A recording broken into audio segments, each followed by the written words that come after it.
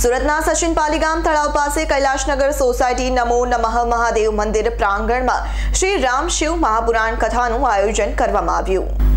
સુરતના સચિન પાલીગામ તળાવ પાસે કૈલાશનગર સોસાયટીમાં નમો નમઃ મહાદેવ મંદિર પ્રાંગણમાં શ્રી રામ શિવ મહાપુરાણ કથાનું આયોજન કરવામાં આવ્યું છે. પરમ પૂજ્ય હરિહરધામ પીઠાધીશ્વર શ્રી ઓમપ્રકાશ મિશ્રા મહારાજશ્રીએ એસ નાઇન ન્યૂઝ સાથે વાત કરતા જણાવ્યું કે સર્વ લોક કલ્યાણ માટે શ્રી રામ શિવ કથા મહાપુરાણ કથાનું આયોજન કરવામાં આવ્યું છે.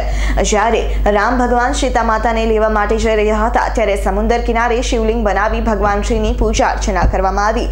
ત્યારબાદ રામ સેતુનું નિર્માણ કર્યું હતું. જેને લઈને અમે પણ બાવીસ જાન્યુઆરીના દિવસે અયોધ્યામાં શ્રી રામ ભગવાનની મૂર્તિનું પ્રાણ પ્રતિષ્ઠા થવા જઈ રહ્યું છે. ત્યારે અમે પણ સાત દિવસ માટે શિવ મહાપુરાણની સપ્તાહનું આયોજન કરવામાં આવ્યું છે. શ્રી રામ જન્મભૂમિ પ્રાણ પ્રતિષ્ઠા મહોત્સવ નિમિત્તે એક દિવસે એકસો આઠ કુંડિયા રામ રક્ષા મહાયજ્ઞ વ્યાસજી મહારાજ, પરમ પૂજનીય હરિહરધામ પીઠાધીશ્વર શ્રી ઓમ પ્રકાશ મિશ્રાજીના મુખેથી શ્રી રામ શિવ મહાપુરાણ કથા જ્ઞાન યજ્ઞ અને રામ જન્મભૂમિ પ્રાણ પ્રતિષ્ઠા મહોત્સવના નામે એક દિવસે એકસો આઠ કુંડિયા राम रक्षा महायज्ञ योजा से।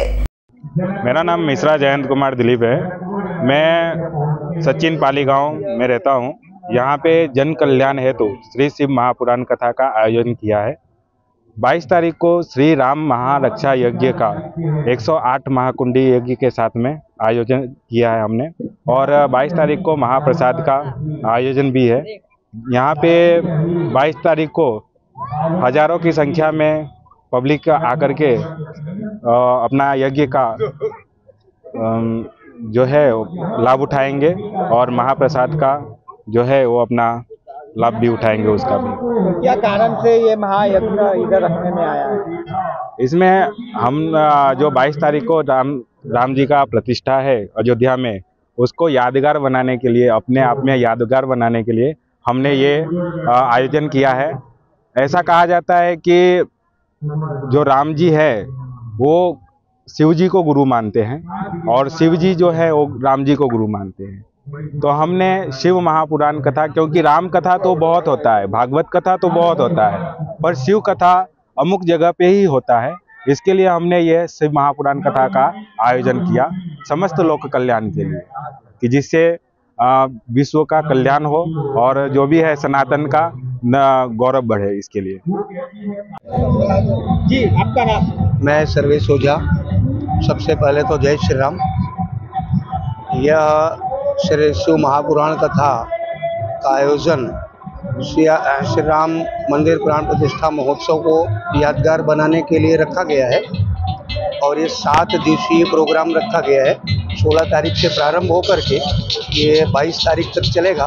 22 तारीख को 108 कुंडी महायज्ञ का भी आयोजन है साथ साथ भंडारा प्रसाद का भी आयोजन है और साथ साथ पूरे जन जन को भगवान मर्यादा पुरुषोत्तम भगवान श्री राम के नैतिक मूल्य, उनके जीवन आदर्श को जन जन तक पहुँचाने के उद्देश्य से ये कथा रखी। ये कथा रखने का कारण क्या है? कितने दिन की कथा है? और भोजन प्रसाद में क्या रखने देखिए, इस कथा को रखने का जो उद्देश्य है, वो तो प्रथम उद्देश्य ये है कि श्री राम प्राण प्रतिष्ठा महोत्सव को यादगार बनाया जा सके और ये सात दिवसीय कार्यक्रम रखा गया है। सात सोलह तारीख से प्रारंभ होकर के बाईस तारीख तक से वहाँ महापुराण की कथा चलेगी।